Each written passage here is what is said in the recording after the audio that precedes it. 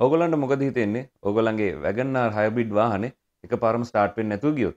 නැත්තම් මාර්ගයේදී එක පාරම idle stop එකෙන් ආපහු ස්ටාර්ට්පෙන් නැතුව යන මේ වගේ ලෙඩක්කාවොත් මොකද ඔගොල කරන්න?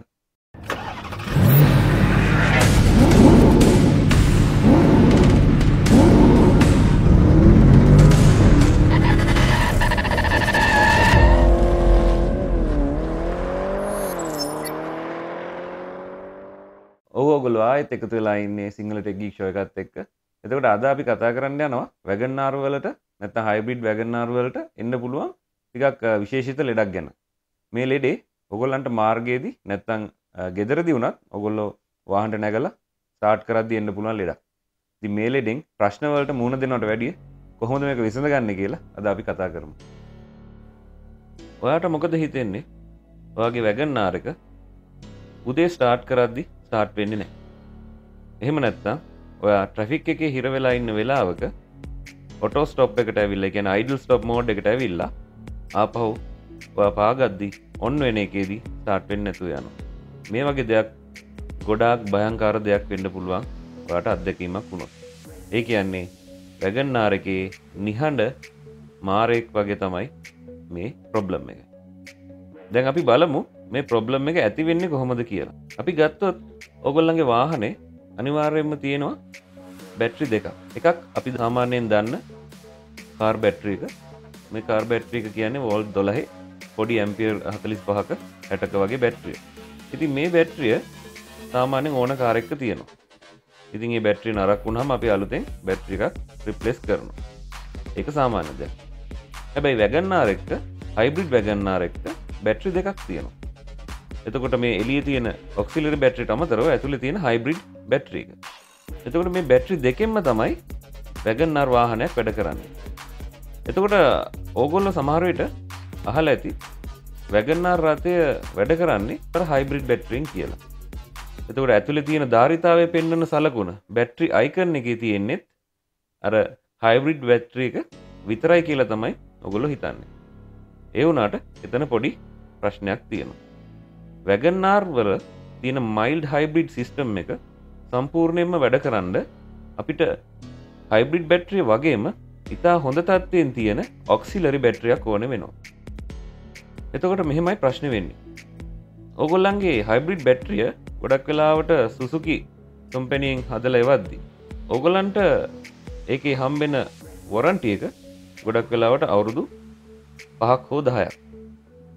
එකන ලොකු කල්පැත්මක් තියෙන බැට්‍රියත්තම ඔගලන්ට හම්බෙන් ඒ වුනාට ඔගොල්ලන්ගේ ඔක්සිලිරි බැට්‍රිය නැතන් කාරකේ තියෙන පොඩි බැට්‍රියක මේ බැට්‍රියට ගොඩක් කලාට අවුරුද්දක් දෙකක් වගේ වගකීමක් තමයි හම්බෙන් එතකොට ඔතන වෙන ප්‍රශ්නය තමයි ඔගොල්ල ගොඩක් වෙලාවට හයිබරි බැට්‍රික ගැන හිතන්න දෙයක් නෑ මොකද හයිබරි බැට්‍රික සර්විස් ප්‍රී බැට්‍රිය එක ගොඩක් හොඳ ගුණාත්මක භාවකින් හදන ජපන් බැට්‍රික ඒ වුනාට ඔගොල්ලන්ගේ අර පොඩි බැට්‍රියක ගොඩක් කලාවට ඔගොල්ලෝ මේ ලංකාවෙන් හරි ඔගොලන්ට කොහෙන් හරි හම්බෙච් බැට්‍රික රිපලස් කරපු බැට්‍රික නැත්තම් කලින් ඒ රටේ දුපු බැට්‍රිය එකක් වෙන්න පුළුවන්. ඔයාලා ඒ පොඩි බැට්‍රිය ගැනත් හිතන් නැතුව දිගටම වාහනේ පදවනෝ අවුරුද්දක් දෙකක් විතර වාහන කිසිම ගැටලොක් නැතු යන්න පුළුවන්.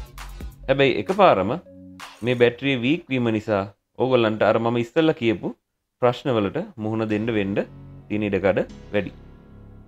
එතකොට මට ඉන්නවා ගොඩක් වෙලාවට ඒවගේ සිදුවම් සිදුවච්ච මගේ යාලුව දෙතුන් දෙනෙකුත්.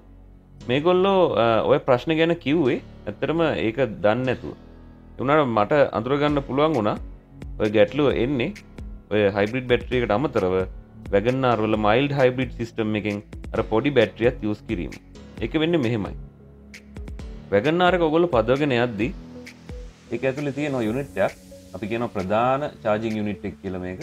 ඉන්ටගේට ස්ටාර්ට ජනරේට නැතම් ISG යුනිට් එක.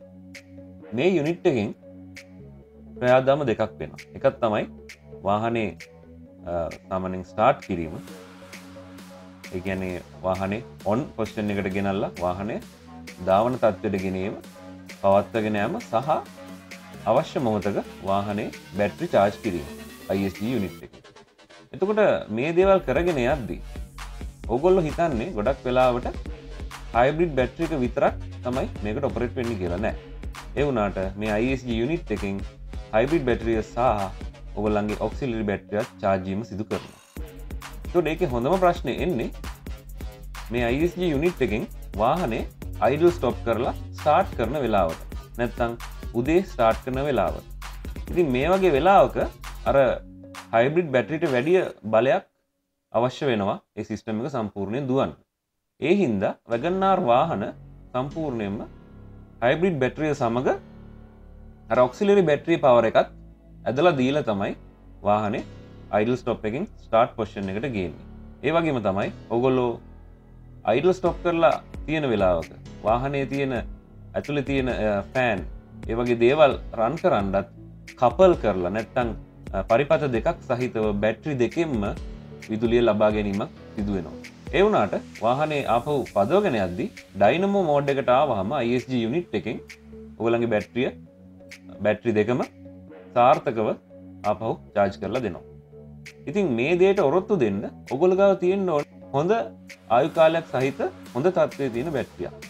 ඔක්සිලරි බැට්‍රිය අපි ගත්තොත් ඔගොල දාලා තියෙන බැට්‍රිය දැනට පරණ එකක් නම් නැත්තං හොඳ බ්‍රෑන්් එක නොවන බැට්‍රියක් නම් ඔගුල දන්නම නැතු මේක ආයුකාලය අඩු වෙලා යනවා මේ ස්ටාර්ට් ස්ටොප් සිිස්ටම් එකත් එක් ඊට පස්සේ ඔගොල්ලන්ට අර මම කියපු ප්‍රශ්නයට මුහුණ දෙන්න වෙන මේක නවත්ත ගන්නන මොකක්ද කරන්න ඕන? කොහොමද මේක කලින් දැනගන්න? ඒකට ක්‍රම දෙකක් තියෙනවා. එක ක්‍රමයක් තමයි ඔගලන්ට පුළුවන් හරියටම වෙරිෆයි කරගන්න ඕනෑම බැට්‍රි කඩයකට ගිහිල්ලා ඒ බැට්‍රි කඩවල්ල ගොඩක් හොඳ ඒජන් කෙනෙක්න ලංකාව තියන හොඳ බ්‍රන්් එක් ඒජන් කෙනෙක් නම් එගොලගා ගොඩක් කලාට තියෙන බැට්‍රි ටෙස්ට් මීටරය මම කියන මේ බැට්‍රිවල ආරෝපන තත්වය ටෙස් කන මීට්‍රී නෙමේ බැට්‍රිවල ආයු කාලය ටෙස් කන මීට්‍ර එතකොට ඒ සිිස්ටම් එකින් මේක ඔගලගේ නෝමල් බැට්‍රික ටෙස් කර ගත්තහම ඒක ආයුකාලය සියට කීයක්ද කියන එක බලාගන්න පුළුවන්. සාමානෙන් ආයුකාලය සියට හැත්තෑවකට හැට අඩුන අනිවාර්යෙන් ඔගොල්ලන්ගේ බැට්‍රිය ආපහු ලෙඩවලට ලක්වීමේ ඉඩකඩ වැඩි. ඒක හින්ද ඔගොලන්ගේ ආයුකාලය පරීක්ෂා කරලා ඒ බැට්‍රි ඒජන්ට කියලා බැට්‍රිය අනිවාරයෙන් අලුත් කරගන්න බලන්න. මේක ගොඩක් කලාවට වෙනවා. ජපානය ගොඩක්කල් පාවිච්චි කරන ලද වාහනයක් ගෙන්වීමේදී සහ ලංකාවේ ගොඩක් පාවිච්චි කරපු වාහනයක් අරසකන් හැන් මාකට් එකින් ගත්තු ඉතින් අනිවාරෙන් ඔගොල්ලන්ගේ හයිබ්‍රිඩ් බැට්‍රිට අමතරව අර ඔක්සිලරි බැට්‍රිය එකත් චෙක් කරගන්න අමත කරන්න එපා. ඊළඟට තව ක්‍රමයක් තමයි ඔගොල්ලන්ට පුළුවන් වාහනේ පදවගෙන යද්දි අනිවාරයෙන් ප්‍රෆික් එක හිරවුණ හම බ්‍රේක එක පාගෙන ටියක් වෙලා ඉන්නකොට ඉංජිනික ඕ් වෙන අයිඩල් ස්ටොප් එකට එනවා. ති මේ අයිඩල් ස්ටොප් එන එක ඔගොලන්ට දැනෙන්ට පුළුවන් ටික කාලයක් ගිහාම ටික වෙනවා අඩුයි. ඇම තිස්සෙම බැට්‍රිය නැතුව වාහනේ ස්ටාර්ට් එකම ඉන්ඩ හදනවා. අන්න ඒවගේ දෙයක් වැඩිපුර ඕගොල්ලන්ට සිදුවෙනවා නම් ඒක සලකුණක්. අනිවාර්යම ඔගොලන්ගේ අර පොඩි බැට්‍රිය එක ටිකක් නරක් වෙලා තියෙන්න්න පුළුවන්. තව දෙයක් තමයි. ඔගලගේ ඩෑශ් බෝඩ් එක තියෙන කොල පාට බල්බ් එක. ඒ අකුරක් වටේට තියෙන කොල පාට බල්බ් එකක් තියෙනවා වම් පැත්ති. මේක තමයි ටෝස්ටාර් ස්ටොප් ලයිට් එක. ඔය ලයිට් එක ගොඩක් වෙලාවට වැඩ කරන්න නැත්තා එකන්නේ පත්වෙන් නැතුව වගේ තියෙනවනම් ඔගොල්ලන්ගේ අයිඩල් ස්ටොප් පංශන් එක හරියට වෙන්නේ නෑ ති මේ වගේ දේවල් සිදු වෙනකොට අනිවාරෙන් සැලකිලිමත් වෙන්න ඔගොලගේ බැට්‍රි එක ටෙස් කරගන්න. හැබැයි මේ පොඩි දෙයින් ඔගොල්ලන්ට වෙරිෆයි කරගන්න පුළුවන් ලොකු හානියක් සිද්ධ වෙන්න ඇතුව නැත්තන් ලොකු ප්‍රශ්නවලට මුහුණ දෙන්න නැතුව තමන්ගේ වැගන්නාරක පාවිච්චි කරන්න කොහොමද කිය උද ඔගොල්ල දැක්කේ වැගන්නාර් හයිබිඩ් එක්කර එන්න පුළුවන් ටිකක් භයානක ලෙඩක් ගැන්න ඉති මේලෙට එන්ඩිසල කොහොමද අඳුරගන්න? මේලෙඩට ප්‍රතිකාර කොහොමද කරන්න කියන එක ඔගොල්ලො දැනගත්තා. ඉතින් අපේ චැනල් එක සබස්ක්‍රයිබ් කරන්න අපිත් එකතු වෙන්න. ඉසරහටත් මේ වගේ ඔගලන්ට වැදගත්වෙන වීඩියෝ එකක් කරන්න බලාපොරොත්තු වෙනවා අනිවාරය රැදීටින්න සිංහල තෙගික් කරගත්ත Thank you.